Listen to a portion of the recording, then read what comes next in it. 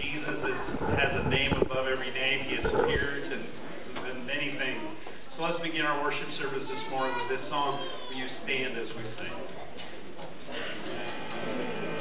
The name of Jesus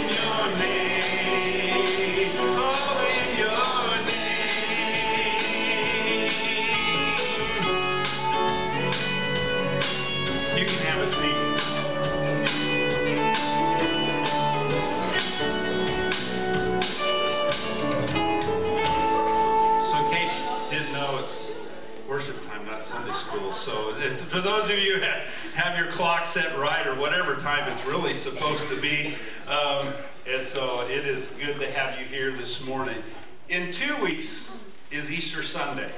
It just doesn't seem like it can be quite possible that it's already Easter, especially with last year. Easter was late April, now it's the last of March. But notice in your bulletin, I think the times for our Easter services are there. We're going to have a sunrise at 8:30 and then a breakfast, uh, activity time at 9 o'clock, and then worship at, at 10:15. And so uh, you don't want to miss that day. You don't want to miss that day. And, uh, and so it's going to be a fun day. It's going to be just a day that we can just uh, walk with the disciples. And so you don't want to miss that day. And invite some family, invite some friends, invite a neighbor to be here with us that day. Uh, the whole day. Yeah, and you want to be here for the whole day, okay? And so the youth and the worship team are working on, on the services for that day. And so we want to encourage you all. Get up early, be here at 8.30, and be here for the whole day. It's going to be a very special day that day. Let's pray.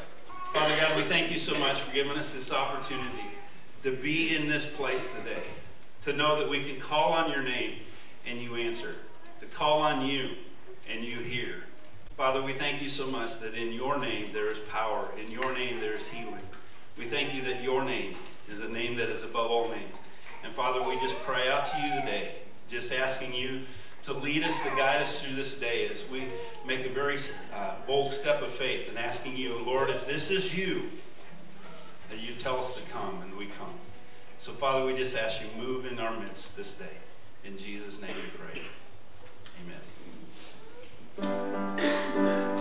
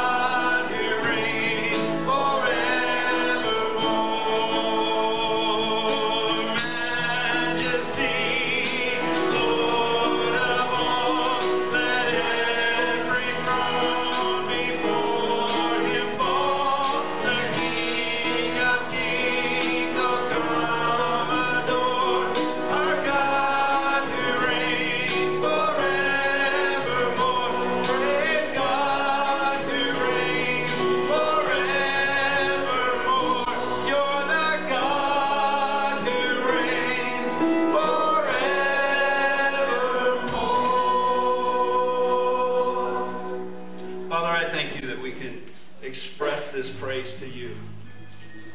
And Father, may this day be a sacrifice of praise to you. May this day be a sacrifice of thanksgiving to you. Father, as we just praise you for who you are, King of kings and Lord of lords, majesty, crowned as king. Father, we thank you so much for it though you were king, you are the Son of God. You humbled yourself and became obedient to death, even death on a cross. So as we gather around the Lord's table today, you help us to keep that proper place, you in that proper place in our life, that you are King, that you are Savior, and we praise you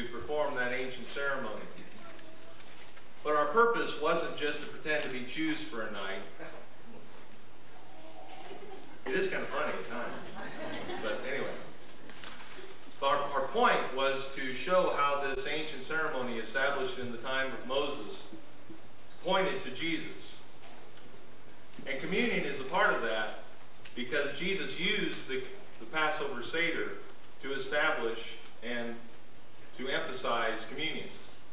The Apostle Paul, in writing to the Corinthian church, said it this way For I received from the Lord what I also passed on to you, that the Lord Jesus, on the night he was betrayed, took bread. And when he had given thanks, he broke it and said, This is my body, which is for you. Do this in remembrance of me. The bread that Jesus was using there in the Seder is called the bread of affliction. It is meant to remind the people that when the children of Israel were leaving Egypt, they had to be ready to go at a moment's notice. So they didn't have time to allow their bread to rise. And so, as a part of the Seder, then at, at another point of the Seder, then they take this bread out and they examine it. And they find, first off, that it is unleavened. Leaven is a symbol of sin, and so having no leaven makes this bread sinless bread. They also take note that it has a striped appearance and that it has holes in it.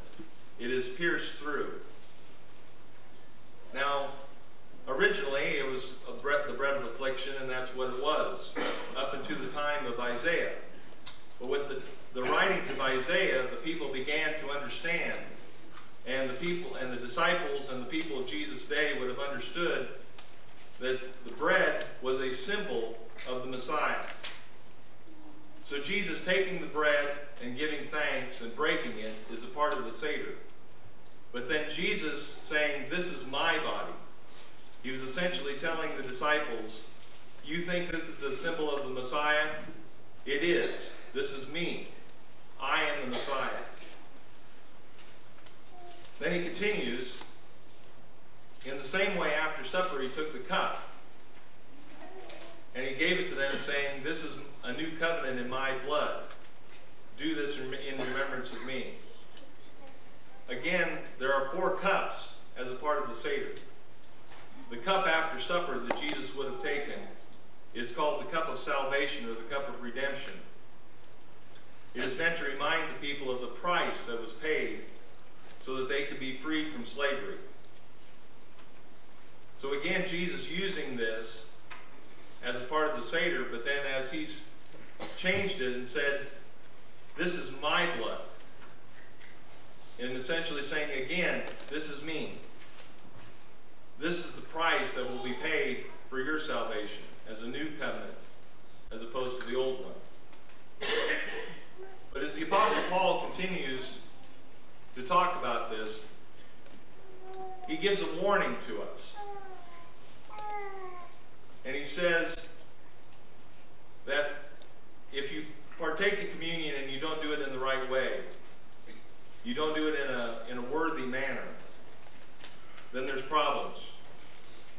And he describes the worthy manner is by recognizing the body and the blood of Jesus. In other words, this isn't just something that we do in this church. This is a serious thing. That if we're partaking of communion just because, there could be problems. We need to recognize that the bread is Jesus' body and that the blood represents his blood that was shed for our sins. So as we partake today, consider these things. Pray with me. Dear Heavenly Father, we thank you and we praise you, Father, for establishing the Passover Seder that reminded the people for years and years ahead of Jesus what was coming. I thank you, Father, that we have this as a visual aid and as a reminder for us as, as well as for the Jews. Help us, Father, to recognize the body of Jesus and the blood of Jesus and partake of communion in a worthy manner today. In Jesus' name, amen.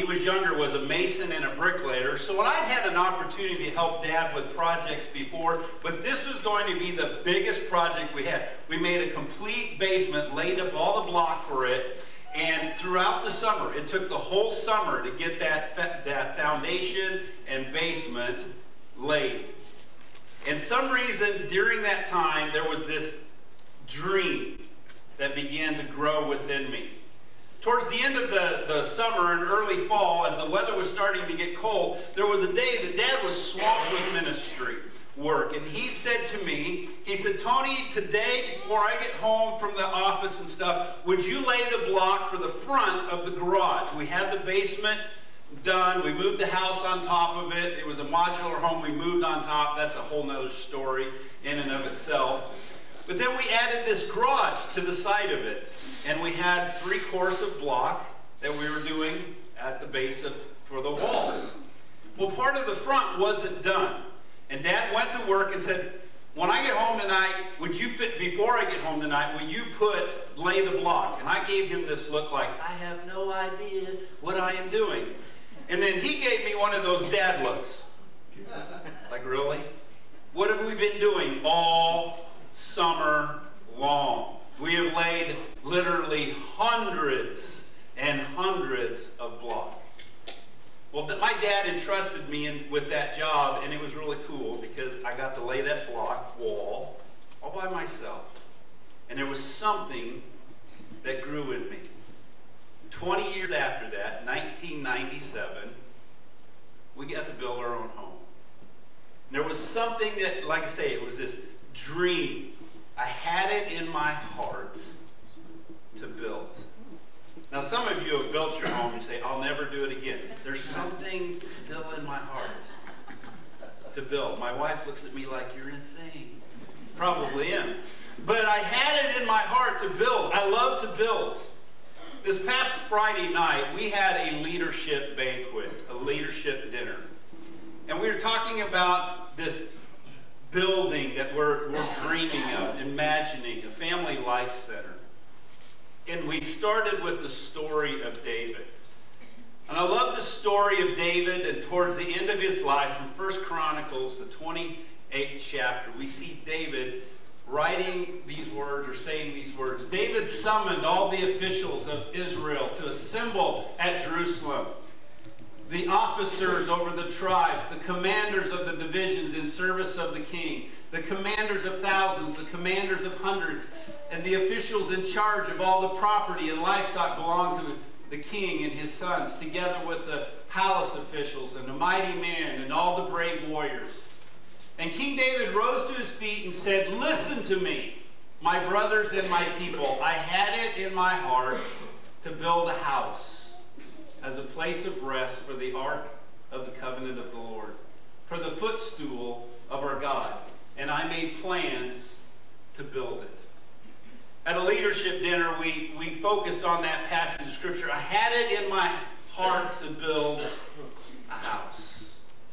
Today, I want us to focus on a couple of houses. We're going to focus in a moment on the house of a family life center. But before we do that, I want us to focus on ourselves as a house. Ourselves as a house if you will, grab one of the Bibles, or your Bible, or one in the pew, and, and uh, turn to 1 Peter chapter 2. 1 Peter chapter 2. Because Peter speaks of a house. And he's talking about us. 1 Peter chapter 2, starting with verse 4.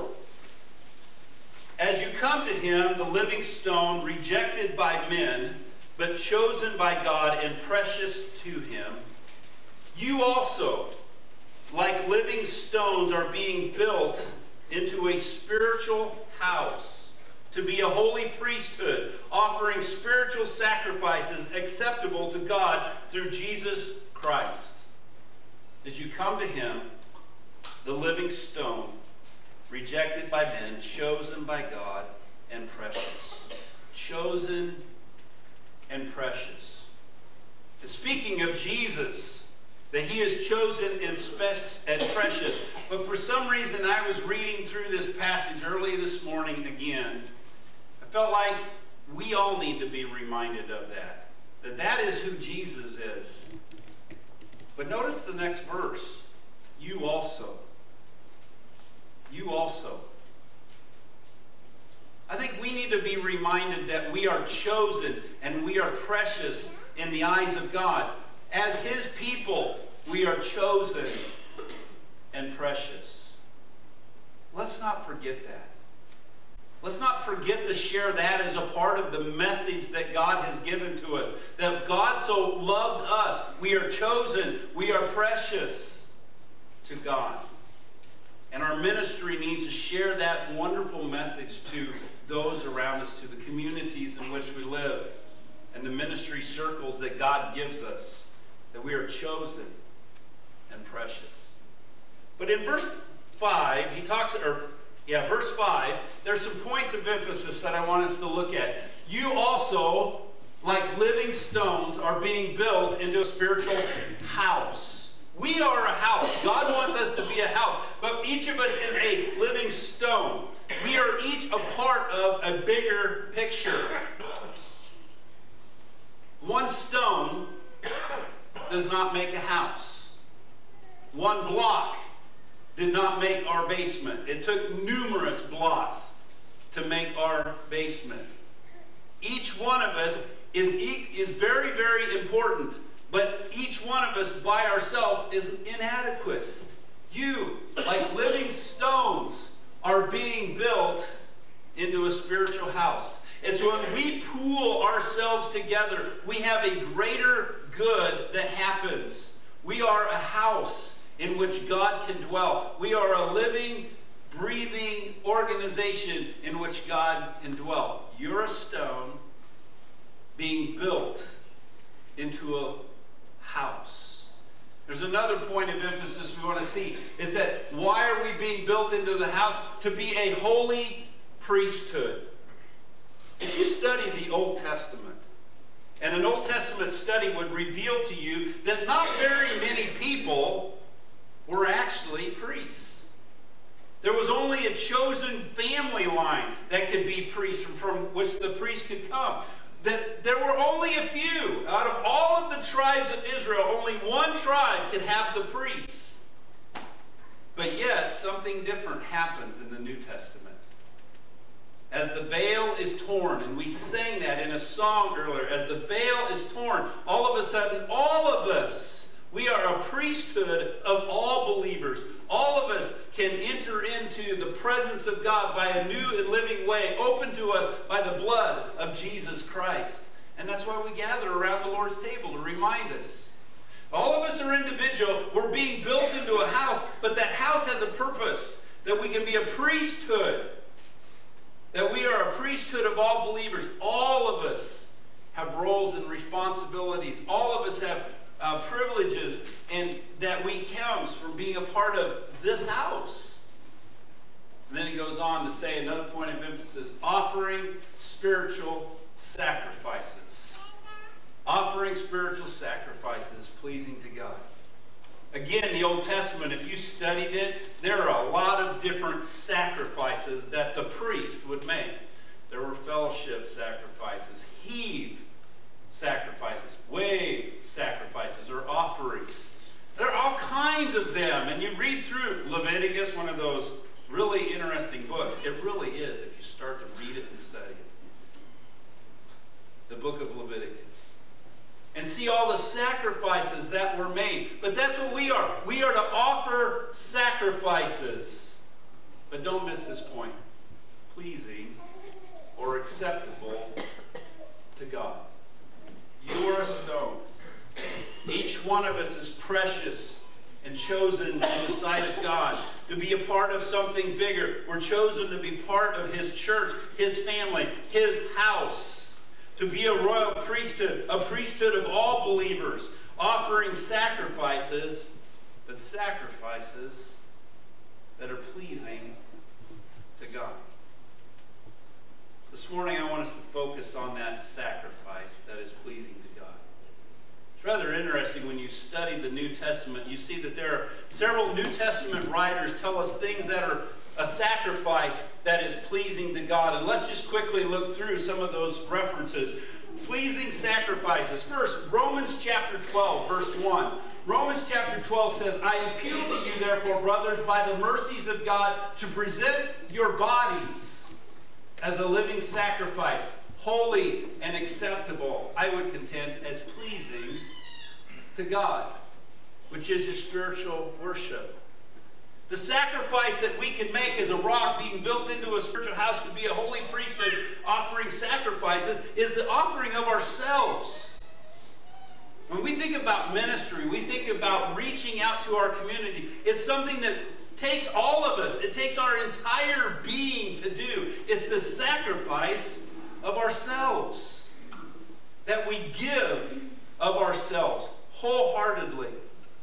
I don't think it's any surprise then when Jesus would say to love the Lord your God with all your might, with all your soul, with all your strength. All of us are to be offered as a sacrifice. It's kind of an oxymoron, really, when you think about a living sacrifice? In the Old Testament, when there was a sacrifice, something died. But we are to live on. But there is a death.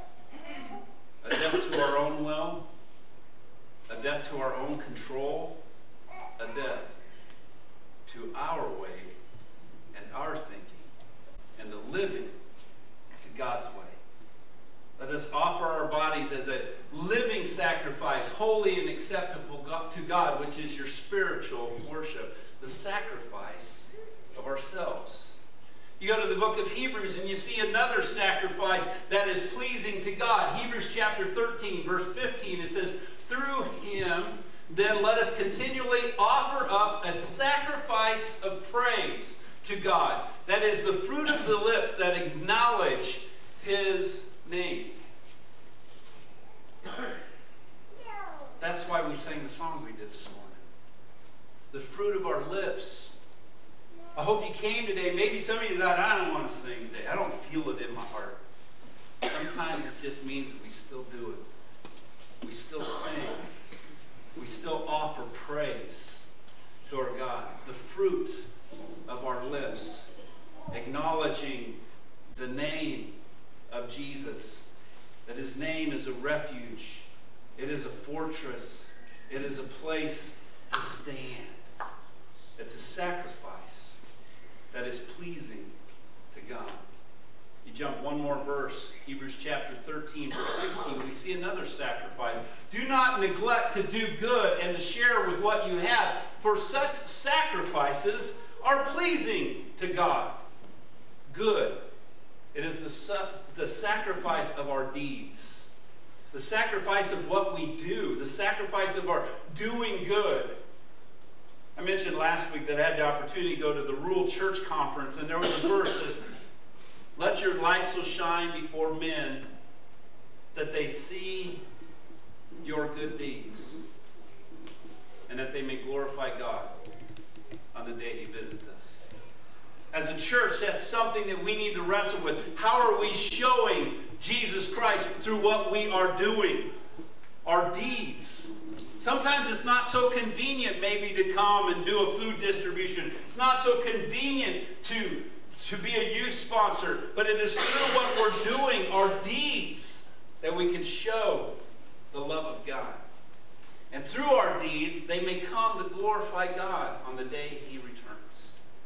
Let us offer to God the sacrifice of our deeds the sacrifice of ourselves, the sacrifice of our praise, the sacrifice of our deeds. But for the fourth one, we jump to the Old Testament.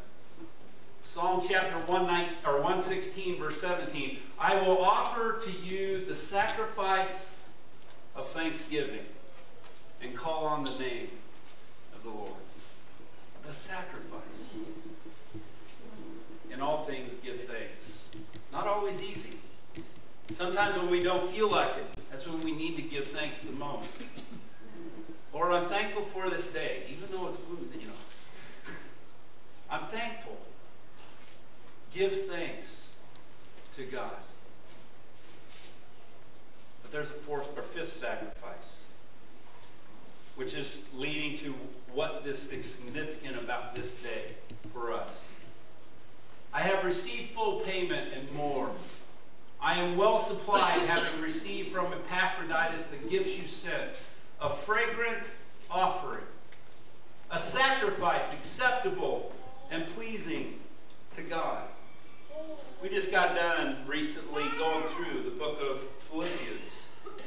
And Paul writes in this book to the people of Philippi, and he talks about contentment. He talks about having that joy in the Lord no matter what then concludes this with that verse, or these thoughts. I received this gift. It is a sacrifice of finances. It's a sacrifice of finances.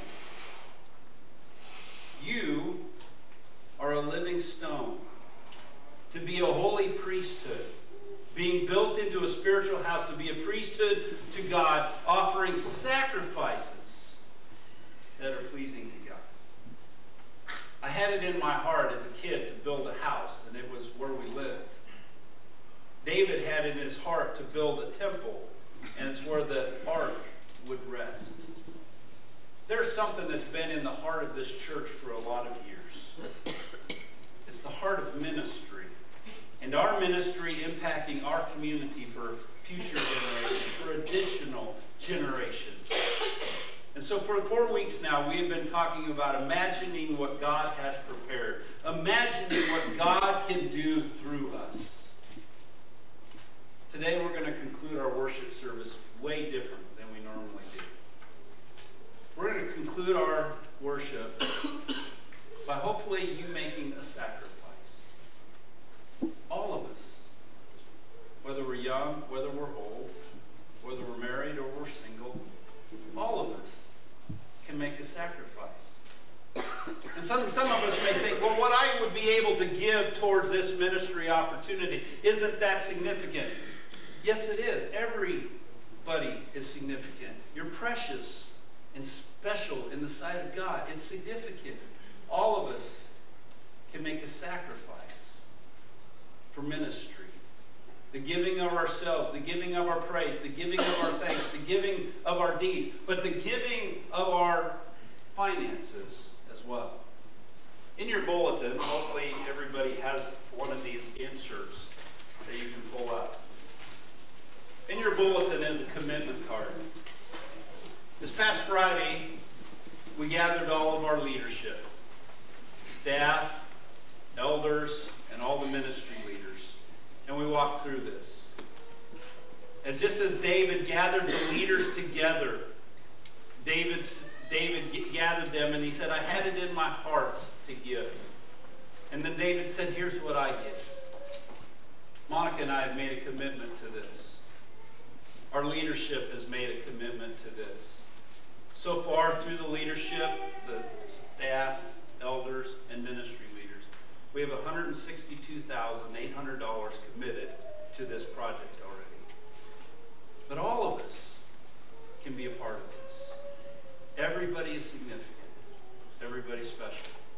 So what we're asking you to prayerfully consider is making a three-year commitment. That's why this side says, my 36-month commitment. This is a defining moment in the history of our church. In order for Central Church of Christ to plan and move forward, giving estimates are necessary. This is a statement of intent and may be increased or decreased at any time. All gifts are going to be left confidential. Two men will see what you write. But what's not, not what's important is not the individual gift. It's going to be important today is what we, the spiritual house, want to sacrifice to give back to God.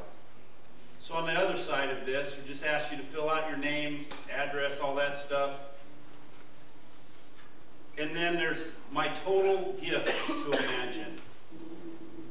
For those of you, maybe this is your first Sunday here, we've been talking about this. The imagining that we're doing is imagine that we can enclose this courtyard space and make it a year-round family life center, that we can do ministry, have living, active, relevant ministry in our community for another generation. And so we're asking everybody to consider a three-year commitment, a gift, either weekly, monthly, quarterly, annually, but a total gift that you would like to say, God, I trust in you, that I will give. This is my sacrifice of finances. Next Sunday, we're going to have a first fruits Sunday. Or maybe you could bring that first gift towards this as we begin taking the next step towards making that a dream, that dream a reality. We haven't signed any contracts yet. We haven't signed any bank notes yet, but this is important for us so we know how to take and what to take, the next step to take is. And so we're going to, Randy and Becky are going to sing a song. I want to encourage you as husband, and wife, as families to just kind of gather in prayer and just go, God, today is my day to make a sacrifice. sacrifice of myself, a sacrifice of praise, a sacrifice of thanksgiving, a sacrifice of deed, giving of myself, but a sacrifice of finances as well. And then as they sing this song, um, Jeff, meet me halfway with that chest, if you will. I forgot to carry this up here. Oh, that's all right. Small no small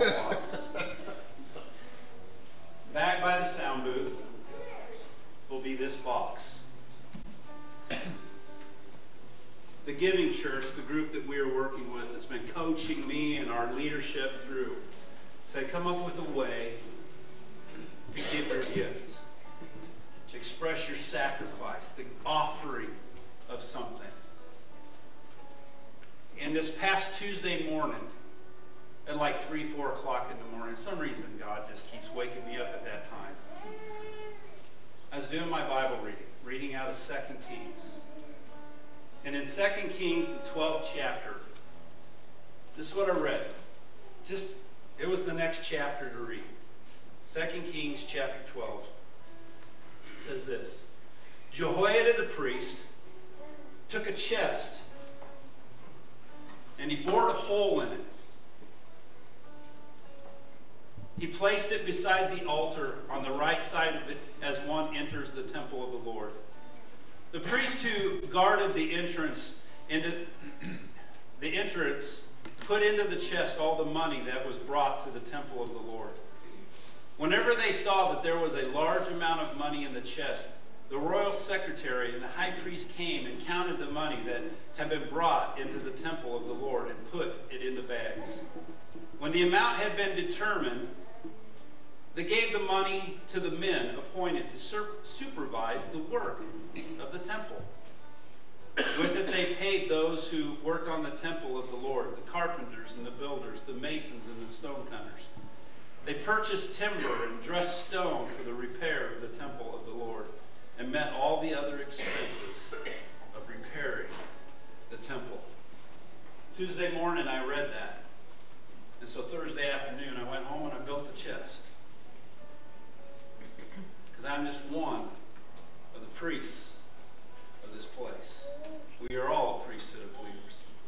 But as priests, we can offer a sacrifice today. So as this song is being sung, will you just bow your head maybe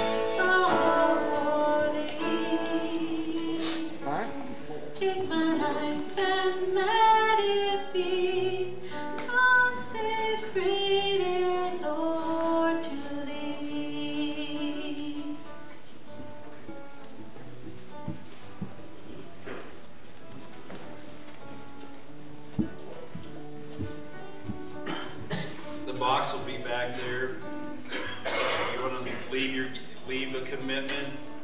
Next week, that box is going to be there for us to put our first fruits offering in. Because the imagining is, is that we can imagine our ministry impacting our community for yet another generation. Imagining what God has in store for us. I believe that rural church ministry can be living, active, and relevant. And I believe Griswold Church great legacy and a great heritage. We've celebrated people who have made bold steps of faith in the past, and I believe this is our opportunity to make a bold step of faith. For our community, to say, what's going on here is that Jesus loves you, that you are precious in his sight, and that we can share the gospel message, that people will come to know who. We want to add this spot so that we can just have yet an opportunity, a space to do active ministry. Or maybe a, kid, a dad can bring his daughter to a daddy-daughter dance. Where kids can gather together. Maybe shoot some baskets. But then all of a sudden somebody just says, tell me more about Jesus. Or we can celebrate the life of someone who has lived a legacy and just done ministry all their life. This church has a great heritage. And I just pray that as we kind of start to begin this wrapping up of this campaign, that we look at this as our opportunity to take a bold step of faith and to leave a legacy. Let's stand. And I want to just close this worship service with this song as a song of prayer, a sacrifice of praise, and a sacrifice of prayer. When we're done, you're dismissed, and I just hope that you will just continue to pray for our leadership as we can consider how we take the next step. What is our next step?